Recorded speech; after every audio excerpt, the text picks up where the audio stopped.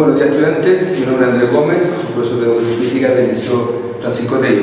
En este video te vamos a explicar eh, cómo realizar la guía número 5.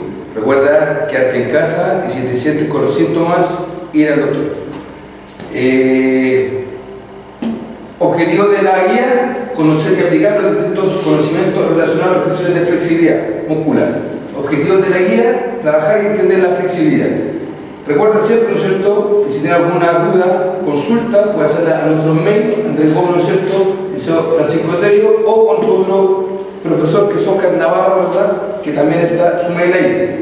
Los horarios son los días martes de 10 a 11.30 y también, ¿verdad? En la jornada de la noche de 20 a 21.30 horas.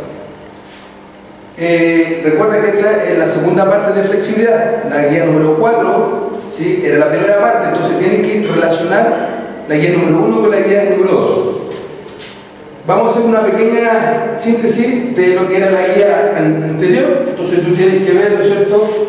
Recuerda que la flexibilidad es la capacidad, ¿no es cierto?, de amplitud de los movimientos de una articulación o de varias articulaciones. Para eso vamos, ¿no es cierto?, a practicar la flexibilidad. Tiene en este caso 10 ejercicios donde tú, ¿no es cierto?, dice la, idea que tienes que repetir cada acción que te indica la lámina por al menos 10 a 20 segundos. ¿Ya? Entonces tú practicas todos los ejercicios, lo haces, ¿verdad? Ejecutas, ¿cierto? Uno, dos, hacia atrás, ¿verdad? Como puede ser el cuádriceps acá, mostrando, practicándolo, haciéndolo para que tú vivencies y logres, ¿verdad? Desarrollar lo que le dice el texto. Más abajo, tú tienes que ir relacionando las preguntas, ¿verdad? Que están en los signos. ¿Por qué estirar? ¿Verdad? ¿Por qué? Me, me pregunto, ¿por qué tengo que estirar? Entonces, después de hacerme esa pregunta, le verdad, ¿por qué tengo que estirar? Una, ¿no es cierto?, reduce la tensión muscular y siente el cuerpo más relajado. Y así cada imagen te va a ir dando, ¿no es cierto?, las respuestas a las preguntas que te va haciendo la guía. Más abajo vienen unas preguntas ya de carácter más personal, donde tú tienes que reflexionar a través de esta. Y después que tú te haces todas las preguntas, tienes que ¿verdad? compararlas con el texto, donde más abajo están las respuestas esperadas. Y para finalizar, viene una serie de preguntas donde tú tienes ¿verdad? que contestar. Y estas son las preguntas que están con puntaje asignado, el cual ¿cierto? va a considerar la nota de la guía. ¿Por qué estas respuestas no tienen, perdón, estas preguntas no tienen su respuesta? Porque estas consideran nota.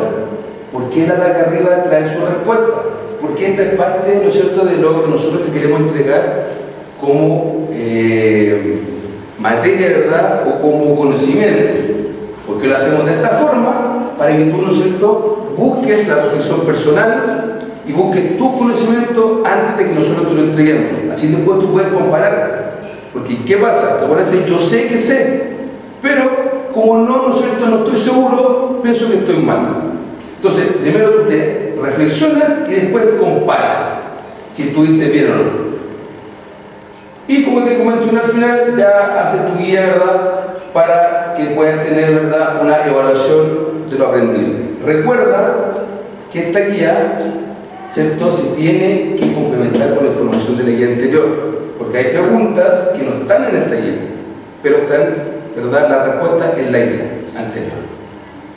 Eh, cualquier consulta, te vuelvo a recordar, tienes el mail para que, ¿no es puedas mandar todas tus consultas, también la retroalimentación que te vamos a hacer a los dos mails y recuerda los horarios, martes de 10 a 11.30 y 20 a 21.30 horas. Que estén muy bien y cuídate.